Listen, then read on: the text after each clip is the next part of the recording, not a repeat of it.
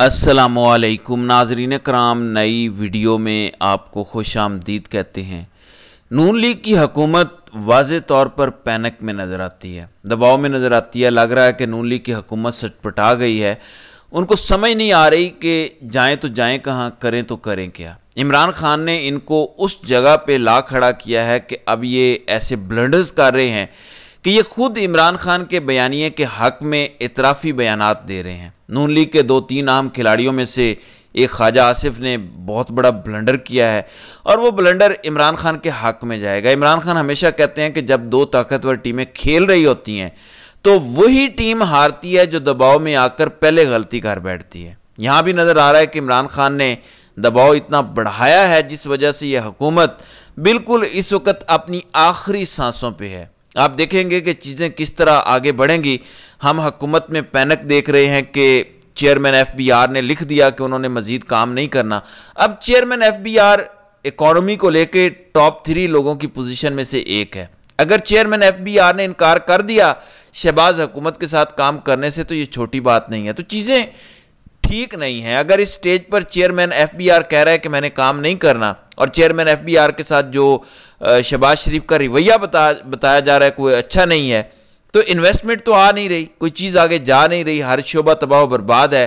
پاکستان کو یہ تنزلی اور پستی کی طرف دھکیل رہے ہیں، نہ ان کے پاس کوئی ایجنڈا ہے، نہ ان کی کوئی کارکردگی ہے، نہ ان کو بتانے ان کے پاس بتانے کو کچھ ہے۔ اب خواجہ آصف نے جو بیان دیا ہے، خواجہ آصف نے یہ اعتراف کر لیا ہے کہ نواز شریف نے آرمی چیف کی ایکسٹینشن کے لیے جو ووٹ دیا تھا، وہ ڈیل کا نتیجہ تھا۔ اور آپ کو پتہ ہی ہے کہ میاں نواز شریف نے اپنی پارٹی کے لوگوں کو بلا کر قرآن مجید پہ حلف لیا تھا کہ میں جو بات کر رہا ہوں یہ بتانی نہیں ہے اور جا کے آپ نے ایکسٹینشن کے لیے ووٹ دینا ہے، نئے کپڑے شپڑے پہن کے جانا ہے، خوشبو لگا کے جانا ہے، وہاں پی ٹی آئی سے پہلے پہنچنا ہے۔ سب نے جا کر وہاں پہ پن لوکیشن شیئر کرنی ہے کہ سر ہم یہاں پہ پہنچ گئے ہیں، ہم آپ کے خادم، ہم آپ کے نوکر، ہماری آل اولاد آپ کی خادم اور نوکر۔ تو یہ سارے باجماعت وہاں پہنچی اور لائن میں لگ کر انہوں نے ایکسٹینشن کے لیے ووٹ ڈالا۔ اب اب دیکھیں ان کی منافقت۔ اس وقت ایک طرف یہ فوج کو گالیاں دے رہے تھے اور اندر یہ اندر یہ ملاقاتیں کر رہے تھے۔ پھر دوسرا جو سب سے بڑا بیانیہ ہے جو خواجہ آصف نے خود اپنے بیانیے کو تباہ و برباد کر دیا، وہ یہ ہے کہ جنرل فیض حمید ان کے خلاف تھے۔ اور عمران خان ان کو آرمی چیف بنانا چاہتے تھے، وہ بن جاتے تو ان سب کو الٹا لٹکا دیتے۔ یہ بات بھی غلط ثابت ہوئی ہے کیونکہ خواجہ آصف نے اعتراف کیا ہے کہ جنرل فیض خواجہ آصف کو ملے اور مل کے کہا کہ آپ کو ہم حکومت دینا چاہتے ہیں، پہلے پنجاب کی، پھر وفاق کی۔ اسی طرح سے آپ کو یہ بھی پتا ہے کہ محمد زبیر بھی ان کے نمائندے کے طور پر آرمی چیف کے پاس جاتے رہے۔ آج تک مکمل تفصیلات محمد زبیر نے نہیں بتائیں۔ اگر وہ کبھی ساری باتیں بتا دیں گے تو یہ منہ دکھانے کے قابل نہیں رہیں گے کہ کس کے ساتھ کس حد تک یہ لیٹے ہوئے تھے اور کیا کر رہے تھے۔ ایک جانب نواز شریف گالیاں دے رہے تھے فوج کو، جبکہ اندر ہی اندر پاؤں پکڑے ہوئے تھے اور ڈیلیں کر رہے تھے۔ تو یہ ساری صورتحال تھی۔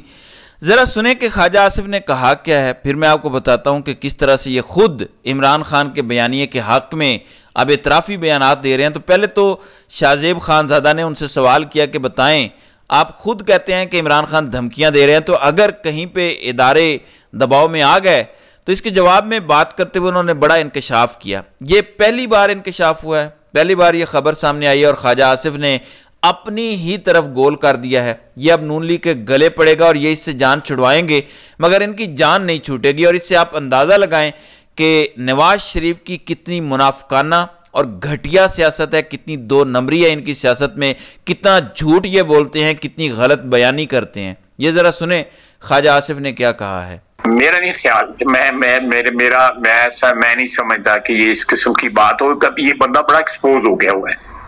لوگوں کو جو ہے نا کوئی جنرل باجوہ کو میرے خیال گروپ لکھے تھے، کوئی ان کو کوئی اس قسم کی مسکنسپشنز تھیں، یا obviously ان کا سیلف انٹرسٹ جو تھا وہ اوور رائٹنگ فیکٹر تھا لیکن وہ ہی تھاٹ کہ he's betting on the right horse لیکن لیٹر آن جو ہے ناٹ لیٹر آن بلکہ سال، سوا سال کے بعد ہی دو ہزار انیس میں ہی انہوں نے مجھے مجھے آفر کیا گیا۔ مجھے جنرل فیض جو ہے ان کے سسر کے گھر مجھے ملے۔ اور انہوں نے کہا کہ we have had enough of them نہیں میں یہ اپریل دو ہزار انیس کی بات کر رہا ہوں۔ اس وقت کی میں بات کر رہا ہوں جب سے اچھا دی تھی ہم نے۔ اور پھر آپ نے کیا کہا؟ یہ یہ حالات ہے ان کے کوئی بندہ کوئی پاکستان میں نہیں دنیا میں کوئی بندہ جو ہے ڈھونڈے جو اس شخص پہ اعتبار کرے گا۔ اور جب جنرل فیض حمید نے کہا کہ ہم کوئی بندہ آگے اس کے ساتھ ڈیل کیا اس آدمی سے تو آپ نے کیا کہا؟ جی؟ جب جنرل فیض حمید نے کہا کہ ہم بیزار آ گئے عمران خان صاحب کے حوالے سے۔ جنرل فیض حمید نے کہا جنرل باجوہ کی سسر کے گھر پوری سٹوری میں آپ کو میں آپ کو پوری سٹوری سنا دیتا ہوں۔ یہ آدھا منٹ بھی نہیں لگے گا۔ بیس منٹ کی زیادہ زیادہ ملاقات تھی۔ انہوں نے کہا جی کہ آپ کیا کر رہے ہیں؟ جنرل باجوہ کو ایکسٹینشن وغیرہ دے رہے ہیں۔ میں کہ جی دے رہے ہیں بالکل ہم نے فیصلہ کیا ہم وہ دیں گے۔ جو ہم نے دیا بھی۔ ہاں۔ اس کے بعد انہوں نے کہا کہ کیا آپ کا کیا کوئی شرائط کیا ہے؟ میں نے کہا جی مجھے میری انسٹرکشنز یہ ہے کہ کوئی شرائط نہیں ہم کچھ بھی نہیں چاہتے۔ ہم یہاں پہ کوئی کوئٹ پرو کو کے لیے نہیں میں یہاں آپ کے پاس آیا ہوا۔ تو انہوں نے کہا یہ بہرحال اگر وہ ایک علیحدہ بات ہے، لیکن we have had enough of ہم آپ جون تک جو ہے پنجاب کی حکومت لیں اور دسمبر میں جو ہے آپ جو ہے وہ فیڈرل حکومت کی تیاری کریں۔ میں کہ جی میں میرے پاس ایسا کوئی مینڈیٹ نہیں ہے کہ میں آپ سے بات کروں۔ آپ یہ چیزیں ویریفائی کر سکتے ہیں۔ اس نشست کے اندر جنرل اعظم صاحب بھی تشریف رکھتے تھے اور جنرل فیض صاحب دونوں اللہ تعالیٰ ان کو زندگی تندرستی دے۔ آپ ڈائریکٹلی بھی ان سے پوچھ سکتے ہیں کہ اس کے علاوہ کوئی بات نہیں۔ بہت شکریہ۔ اگر جنرل فیض جی ناظرین اکرام اب آپ اسی سے اندازہ لگائیں کہ خواجہ آصف نے اطرافی بیان دے دیا ہے۔ اب آپ دیکھیں کہ نواز شریف خود ڈیلیں کر رہے تھے، کیونکہ خواجہ آصف کو تو کہا گیا تھا کہ آپ نے جا کے یہ کمٹمنٹ دینی ہے، باقی میاں صاحب خود ڈیلیں کریں گے۔ تو یہ ہے اس خاندان کی سیاسی حقیقت ہے، یہ ہے ان کا اصل چہرہ اور یہ خود ان کے بیانات سے ظاہر ہے۔ کوئی اور بات کرتا کوئی نہ مانتا۔ خواجہ آصف نے پہلی بار یہ انکشاف کیا ہے کہ کہاں جا کر یہ ڈیلیں کر رہے تھے، کس طرح کر رہے تھے۔ اور مجھے یاد ہے ارشد شریف نے ایک پروگرام میں کہا، ایک بات کی تھی۔ کاشف عباسی کا پروگرام تھا، وہاں روف کلاسرا بھی بیٹھے تھے۔ روف کلاسرا نے کہا کہ سیاست دانوں کو جب جی ایچ کیو بلایا جاتا ہے یا کسی میس میں بلایا جاتا ہے، تو یہ بھاگ کے جاتے ہیں، لیکن ان کو پارلیمنٹ میں بٹھایا جائے یا بلایا جائے، تو یہ بیٹھتے نہیں ہیں۔ یہ کبھی فلان جگہ جاتے ہیں، ڈیل کرتے ہیں، کبھی کسی میس میں جاتے ہیں۔ تو اس پر عرش شریف نے لکمہ دیا کہ اور کبھی کسی سسر، کسی کے سسر کے گھر بھی۔ یہ عرش شریف کے الفاظ تھے۔ اس وقت کسی کے ویم و گمان میں نہیں تھا کہ یہ بات ہے۔ جو کہ عرش شریف کو اس وقت پتا تھی اور انہوں نے سب سے پہلے یہ بات کر دی تھی۔ تو بہت سی خبریں عرش شریف کے پاس تھیں، یہی وجہ ہے کہ آپ نے دیکھا کہ عرش شریف اگریسو ہو گئے۔ انہوں نے بہت سخت موقف اختیار کیا اور پھر انہیں پاکستان چھوڑ کے جانا پڑا اور پھر اس کے بعد انہیں شہید کر دیا گیا۔